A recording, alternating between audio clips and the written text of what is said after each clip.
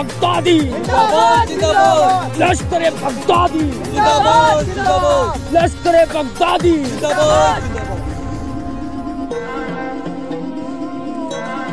पिछली बार हम नाकाम हुए थे।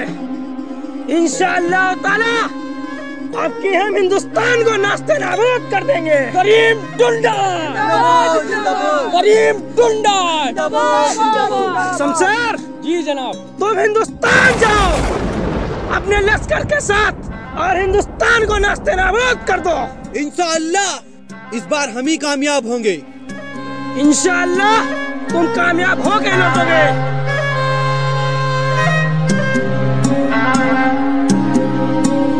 लश्कर बगदादी लश्कर बगदादी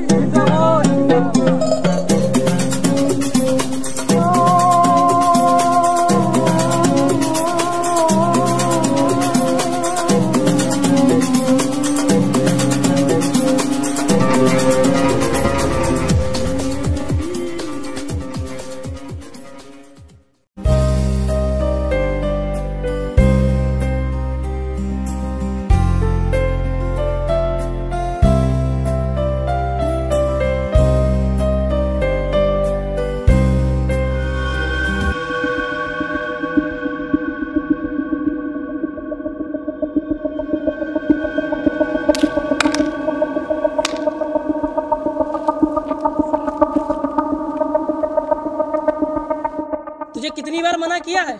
इन मुसलमानों के बच्चों के साथ मत खेला कर। अरे क्या हुआ भाई जान बच्चे ही तो हैं खेलने तू तो अपनी ज़ुबान बंदी रख। चल मेरे साथ।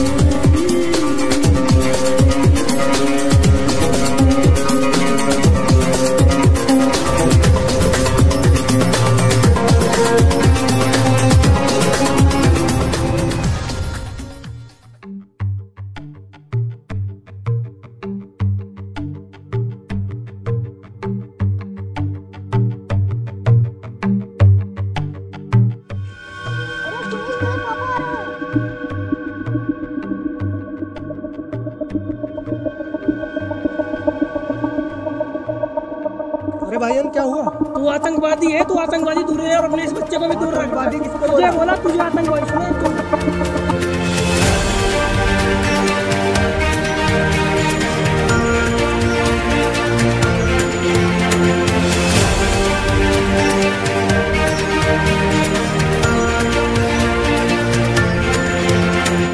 अरे भाइयों क्यों लड़े जा रहे हो आपस में? अरे भाईजान बच्चे आपस में खेल रहे हैं। इन भाई साहब को पता नहीं क्या बुराई नज़र आ रही है बच्चों में। क्यों ना दिखे बुराई? तुम्हारे ही कौम के लोग आतंकवादी होते हैं। आए दिन हमला कराते रहते हैं। मुंबई ब्लास्ट दिल्ली ब्लास्ट भूल गए? हर मुसलमान आतंकवादी नहीं होता। जो धर्म के नाम पर दहशत फैलाता है उसका इस्लाम से कोई ताल्लुक नहीं समझे? और तुम लोग तुम लोग धर्म और जात के नाम पर लोगों को आपस में बांटते हो वो सुनो सुनो। शुक्ला जी क्या तुम्हारा धर्म इस चीज़ की इजाज़त देता है कि बेगुनाहों की हत्या करो? असंभव। और तुम्हारा? अस्तगफिरुल्लाह कभी नहीं। तुम लोग आपस में लड़ रहे हो? जरा सोचो जो अंग्रेज़ नहीं कर पाए वो तो अब हम कर रहे हैं। अगर ऐसे ही चलता रहा तो गुलामी के दिन दूर नहीं है। भाई अब आप अपने घर पे जाओ। और शुक्ला जी हेलो इंदिरा नगर से एक्सपेक्टर भी बोल रहा हूँ। आपके बच्चे की आतंकी हमले में डेथ हो गई है। आप जल्दी से आ जाओ। क्या हुआ क्या हुआ? अरे शुक्ला जी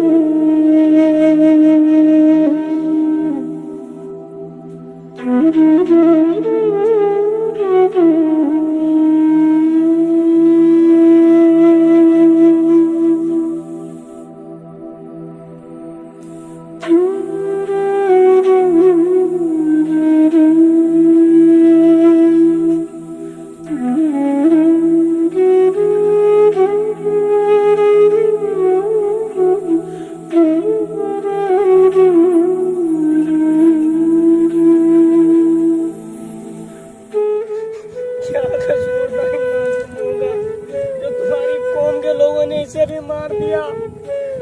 क्या कसूर था इन मासूमों का? जी